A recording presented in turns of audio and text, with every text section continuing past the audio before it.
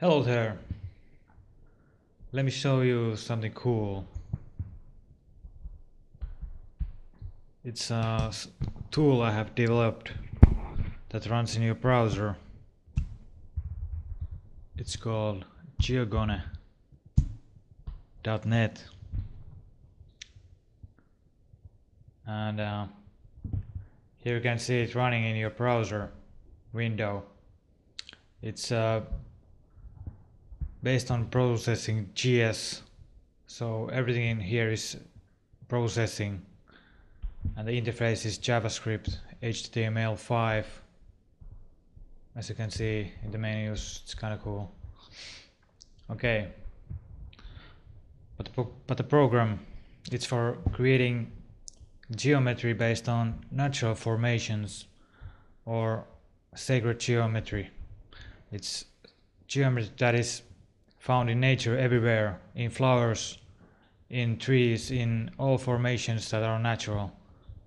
This uh, program allows you to create these formations and manipulate them. Let me show you here. This this here is a formation. It has different recursion levels. It has this recursion depth is zero, so it's just one simple triangle. As you can see here, I can rotate it like this with my keyboard, scale it, scale it down, see what it looks like. Then I can uh, add more points to the formation, making it wholly different.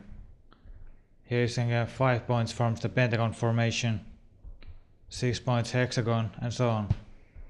And uh, you can add points even to infinity if you like. It's It just gets closer and closer to a real circle. Anyway, let's put that to back to like 6 and um, move it to the center with the keyboard. You can also do it from here if you want, but you can use the arrow keys. It's much easier. Uh, here you can see modifier flags which tell what kind of uh, modifiers are active. Like if I activate the scale rot modifier with alt key, it will instead of moving the formation, it will scale or rotate it with the arrow keys. And if I activate the shift key, it activates the the fine modifier, which means that I can be more uh, fine-tuned in my actions. It scales down the number of uh, uh, amount of parameter chains. So yeah, this way I can play around with the shapes. Also, I can use the keyboard to increase the number of the points with the A or Z to decrease. And now is the funny part. Let's get a bit down. And uh, here is the recursion depth. This defines how many levels of children this formation has in it. So now it's zero because it's just uh, it has no recursion. It's just one shape. If I increase the recursion depth, it will just start to replicate the same shape around around um the current shape. So here you see increase, decrease, and with three points, it forms a, like a triforce. You, you can try it around with different settings and see. It can get a bit heavy with high recursion depth because the number of children are always exponentially increased.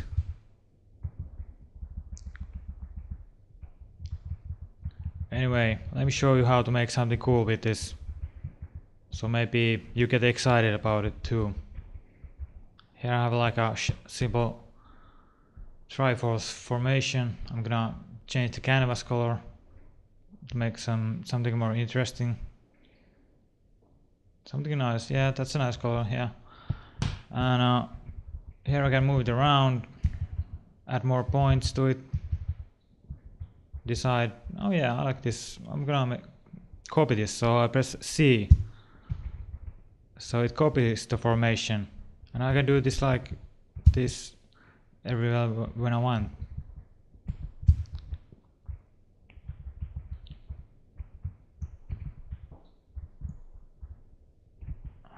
Hmm, that's not quite it. Okay, I can also delete the formation with D. Okay, and this is where it this mod L gets really useful because with this, if I press the spacebar key, it starts modifying all the formation on the screen. So I can modify all of these new formations at the same time. I can I can apply all operations to them, like decrease recursion depth, decrease points, uh, increase points, and so on. And now I can I can actually copy all of these again with C, like this.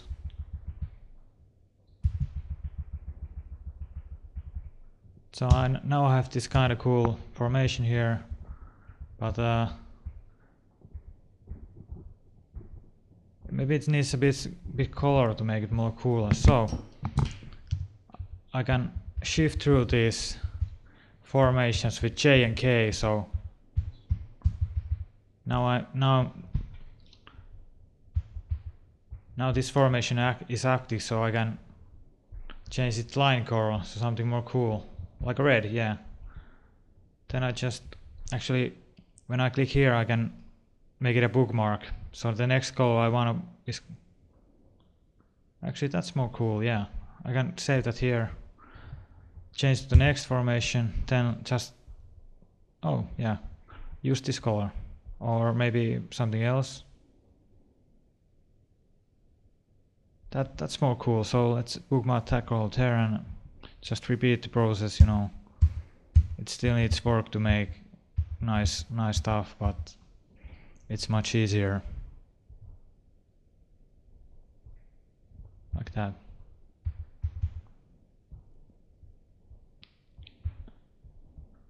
Uh, it's actually pretty easy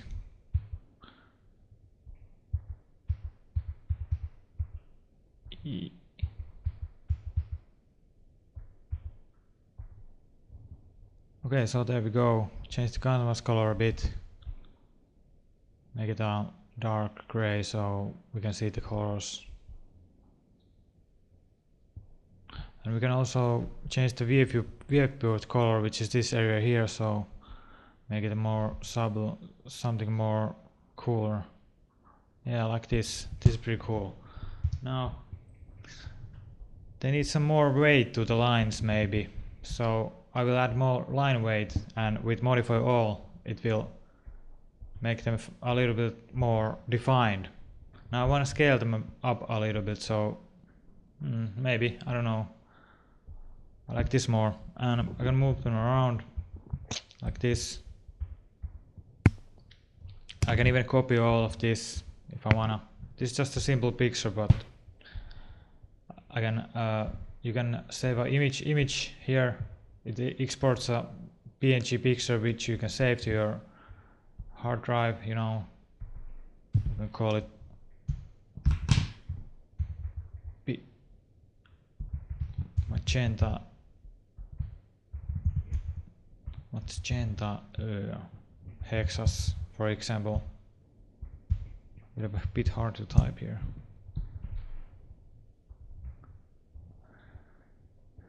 Okay so also there's a lot of you can export your scene so you can copy this string that actually explains the whole scene here. So you can copy this to your text editor and save it.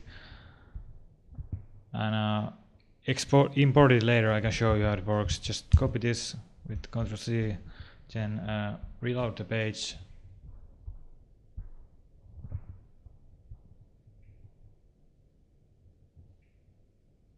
and now it's it's back to default so I'm gonna import it from here import scene and just paste here import scene but um here it is so yeah that's a bit what cool stuff you can do with GeoKone I hope you enjoyed this and uh, go to GeoKone.net to use it live in your browser.